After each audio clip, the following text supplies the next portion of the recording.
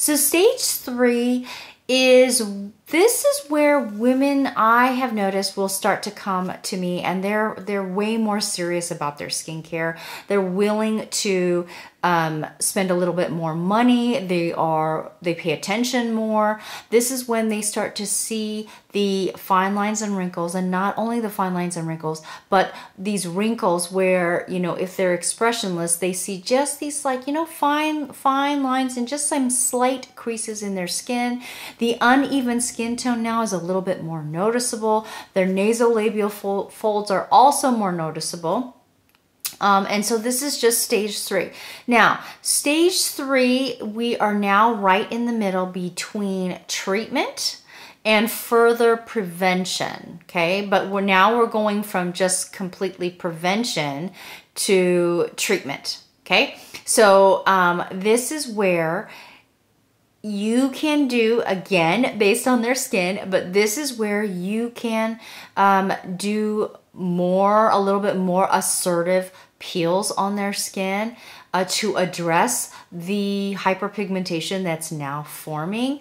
Um, if they have lighter skin, you can do some microneedling on their skin. You can maybe start to introduce retinol if their skin can tolerate it.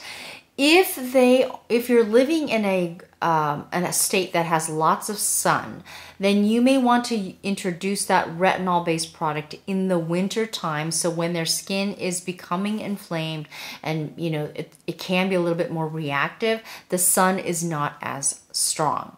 Okay. So with my personal clients, I don't want a lot of that what I call kickback where they're using um, an aggressive or assertive treatment and then it your skin kind of fights back and actually starts to age a little bit more.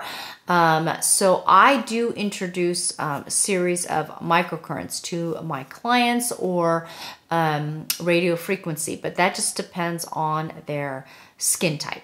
Okay, the light also can be used as a part of, of a treatment protocol as well. Now, their skin tone here, this is also where you will slowly start to see some signs of a little bit of not as much elasticity and sagging. And usually the area that you're going to see this is around the eye area as well as maybe the jawline area right here or, you know, right here. So those are the areas that you want to pay attention to um, as far as really determining where they are between stage two and stage three of the skin aging. This is also the time too that when they're going to start to see these little fading, you know, just just like little um, age spots starting to appear, and some women will just ignore that, and then in their 40s when it's, it's you know when it, when it actually is very apparent that they have them that's when they'll come to see you and that's when you're going to have to tell them that it's you know it's going to take a little bit more time.